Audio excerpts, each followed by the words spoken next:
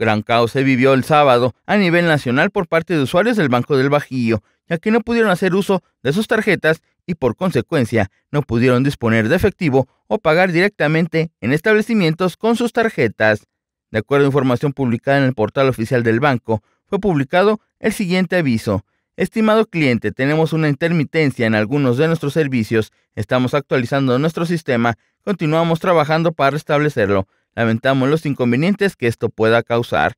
Las quejas de los usuarios continuaron durante todo el día, ya que no podían pagar con su tarjeta, disponer de efectivo y tampoco utilizar la aplicación móvil para hacer transferencias o movimientos de sus cuentas.